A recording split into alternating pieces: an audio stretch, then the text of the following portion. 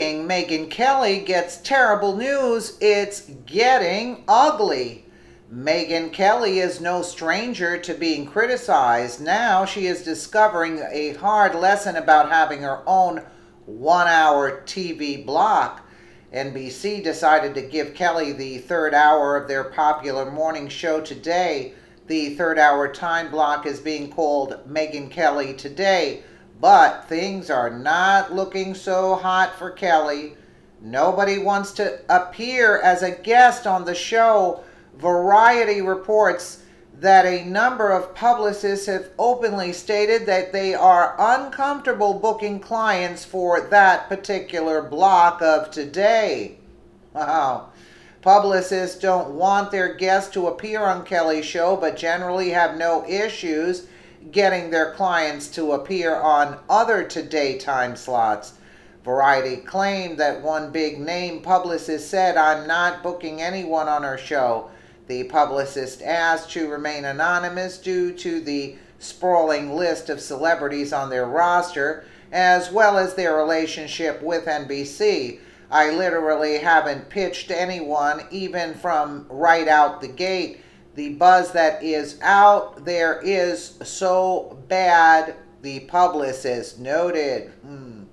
This was not the only publicist to speak out against Kelly's show. Other industry insiders are spreading the word that making Kelly's show and an appearance on it could be more harmful to a guest's position and career than it would be helpful.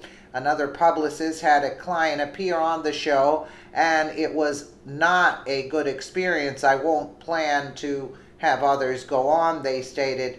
None specifically have been offered or asked to, but it'll be my preference not to. Many daytime TV hosts get big name interviews to help their shows grow, but big name celebrities appear on the shows throughout the day.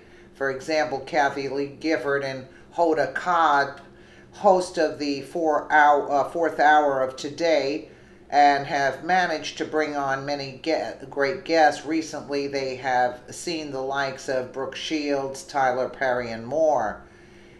Kelly seems only to be able to pull guests on her show from the NBC shows. Everyone else has a sense of uneasiness about appearing, and word is spreading like wildfire during the summer, uh, producers from Today tried hard to push the idea of Kelly's program to publicity firms. They assured people that this version of Kelly would be different from anything anyone has seen yet. It seems as if the network's intentions were to soften Kelly's demeanor to make her more appealing to viewers. With Kelly's ratings in perpetual freefall, today starts to look increasingly less attractive as a platform to service ads.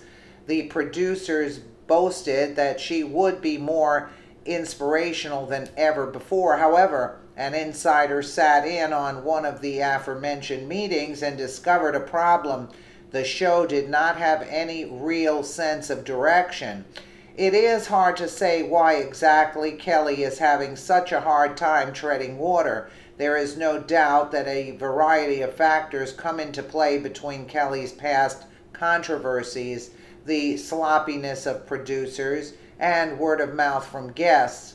There is no shortage of reasons why NBC might want to start looking for someone to fill that third hour of today Look, after she made that faux pas, so to speak, with the uh, guests that came on the show, um, they're not liking her. And since uh, guests are being told that it's going to hurt your career to be on this show, um, Will and Grace, that was the show, uh, the cast of Will and Grace, and something about the uh, um, a homosexual slur, so to speak and they got insulted. So she's done.